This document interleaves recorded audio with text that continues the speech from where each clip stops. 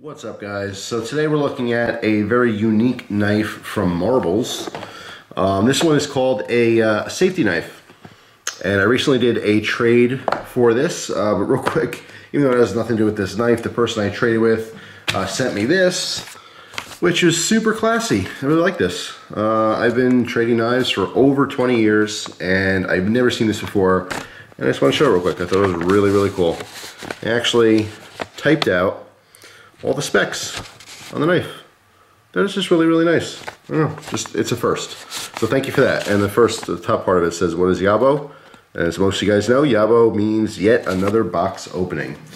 So anyway, uh, on to the knife. This is, again, a safety folder. I believe this is a model 204. Yep, which is on, of course, the specs. I reference my spec sheet. Thank you for that. So yeah, a Marbles Model 204. All right, so here's the box. You can see a timepiece for every hour in the open, right? The marbles with the moose. Uh, if it's marbles, it's quality. You can pause right there and read all that if you like. But anyway, their signature bright orange color. This happens to come with a very nice pouch. And here's a knife, which is quite unique. Yeah, this pouch is actually just beautiful. Very plush inside. Just perfect for storage. Won't scratch it up or anything like that. Yeah, so here it is. This is actually a knife design that goes back to the very early 1900s uh, is when it was patented. There's been multiple companies that actually use this design. Uh, one of them, which was Benchmade. Uh, there was a model from Benchmade called the LFK and I believe it just stood for large folding knife. And it was the same design where you had a larger blade, a longer blade than the handle. So in order to fold the knife, obviously extends past the handle, you'd have this little extra extended guard, all right, so you don't have an exposed edge. So the Benchmade model, which I wish I could show you, I've done a review on it before, but that's long been traded many, many years ago. If you find one, it's probably gonna be pretty expensive, but it's a pretty cool knife. Uh, with that design, when you open the blade, this would automatically retract inside the handle. And in the Benchmade, I believe it was fully inside the handle. Uh, with this particular knife, you have two things going on. When you uh, open it, you can see this is also a swing guard. So this actually is a pivoting guard. There's a pin through here. So as you open it, it swings into this position here, which keeps your hand from riding forward, which is very nice.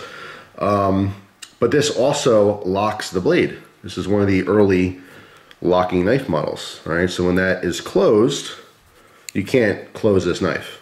All right, there's a little bit of wiggle, just barely, but you cannot close that knife. All right, so that's why it was called the safety knife. So you have a lot of blade, a lot of reach with a you know smaller handle. Very cool, and believe it or not, even though this is sticking up, it's super comfortable. This basically creates a finger choil for your pointing finger to go, and then the rest of your fingers just ride on the, the rest of the handle there. All right, feels very secure again with that guard.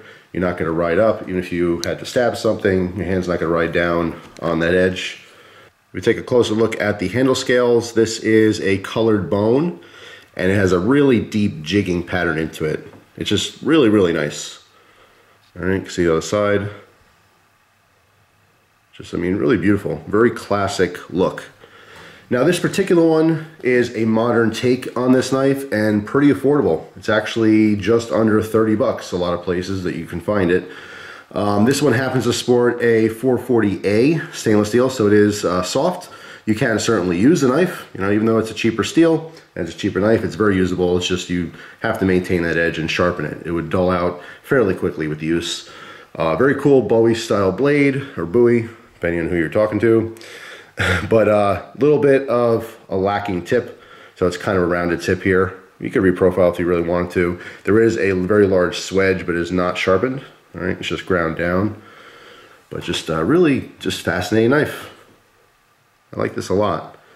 I wanted this for the collection. It's actually offered me uh, by a college student. Liked the knife, but it was just too big. So he wanted something a little bit smaller, something a little bit more modern, and worked out a trade. I actually traded a uh, QSP knife for this. But I wanted it for my unique knife collection because this is certainly unique, has a lot of history, even though This particular one is not all that old.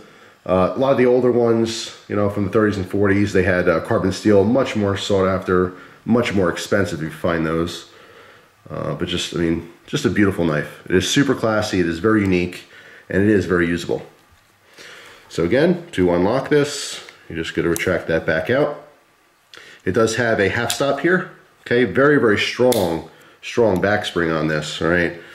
And that half stop is needed, so again, for safety, so you can remove your fingers. So let's say you're holding it like this, and you go to close it, your fingers are in that channel. Without that half stop, if this, you know, sprung closed, obviously you cut yourself. But at this point, you can change your grip to make sure that you don't have anything in the way of that cutting edge. All right, and there it is in the closed position again. You can see there is a hole cut into this. If you wanted to put a lanyard on there, you certainly could. If you used even something as thick as 550, once this is opened, that lanyard would be sticking out this way and go in between your pointer finger and middle finger. So it really wouldn't be a big deal. It would just be hanging out that way, all right, as far as your grip with a lanyard. I personally wouldn't put a lanyard on it, but you certainly have the option if you wanted to. Yeah, because I mean, there's no pocket clip or anything. So if you want this just in the pocket, a lanyard hanging outside the pocket, it might be easier to grab, but just really cool. Just wanted to make a video on that. Again, thank the person that I did a, uh, a trade with. It's a very cool piece of history and a different, you know, old style, I want to say slip joint. It's technically not a locking knife. I mean, if you want to be technical about it, but it does, uh, it does have more of a lock than a, traditional slip joint with this uh, folding guard. And if you look again by design, and you can see the tang ends there. As you close this, this goes right underneath the base of that blade. All right, that's why it, it can't move forward. But just really, really cool. So that's it. That's a Marbles Model 204, the safety knife. If you guys have ever seen this, let me know down below. Marbles has a couple cool, unique designs. They actually have a, a folding Bowie, uh, which maybe eventually I'll get.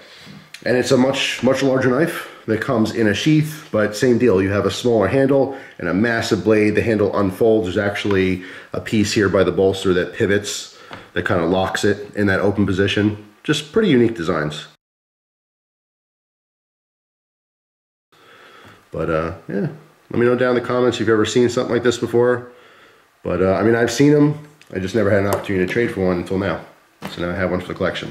So thanks for watching. Hope you guys have a wonderful day, and I'll see you soon. Take care.